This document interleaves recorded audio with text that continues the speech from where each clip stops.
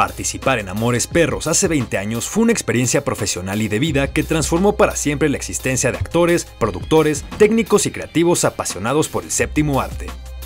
Y yo estaba pues, preparando un examen para el CUT justo donde tenía que hacer un personaje que vivía en la calle y recuerdo que días antes del casting, literal viví en la calle en estas cosas que uno tiene de joven actor, así de, de querer como romper esquemas. Y, este, y viví como en la calle una noche literal y todo desmadre. Luego me dio una infección en los ojos.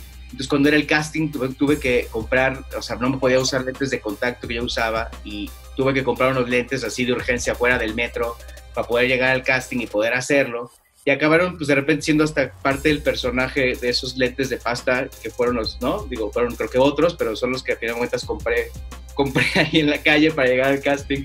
Entonces, vaya, creo que el cine siempre está muy vinculado con los procesos de vida y, te digo, y además el, el, compromiso, o sea, este compromiso real de saber lo que significa hacer una película, del trabajo riguroso y de la disciplina que les admiro y que les aprendí y que recuerdo mucho, nunca se me olvida de cada una de las personas involucradas en la película. Durante la reunión de aniversario que el talento del filme tuvo con Grupo Reforma el pasado 10 de mayo, las emociones salieron a flote y el cariño por el filme, nominado al Oscar, permeó cada segundo de la charla. Si algo me ha emocionado a mí de ver de Amores Perros, es que la siguen enseñando en varias escuelas de, actuación y de cine en el mundo. Me han tocado en la India. Los, los pues gente que no tiene ahorita 22 años, 23 años, pues no, obviamente tenían 3 años, 2 años cuando, cuando Amores Perros. La siguen estudiando en la India, en Bélgica, en Australia, en Nueva Zelanda, en España. Mis hijos llevaron en cinco de las materias que en la universidad les pasaron Amores Perros. Entonces yo creo que lo importante para los que la hicimos, creo que se siga viendo ya si es en streaming, es en pantalla grande, la siguen analizando, se sigue hablando de ella.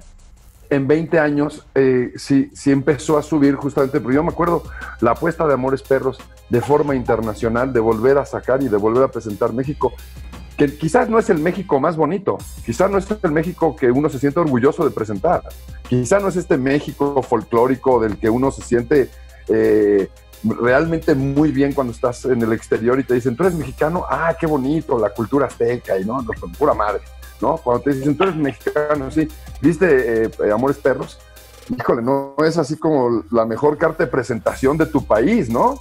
Porque es un lugar donde hay eh, accidentes automovilísticos, por decirlo menos, ¿no? intrigas entre un hermano y otro que se bajan a la vieja, este, unos cabrones que echan a pelear a unos perros, eh, un güey que quiere matar a su, a su, hermanastro. O sea, no es realmente la tarjeta de presentación más linda, pero está hecha de una forma en la cual tampoco ninguna de las tragedias de Shakespeare sería linda si uno lo pone así como a plena luz del día. Y sin embargo están tan bien hechas que, bueno, mira, eh, me parece que la película tiene esto, justamente de lo que hablaba Guillermo, de lo que habla ahorita Mónica, 20 años en donde se sigue hablando y supongo que serán otros 20 y se seguirá hablando de muestras.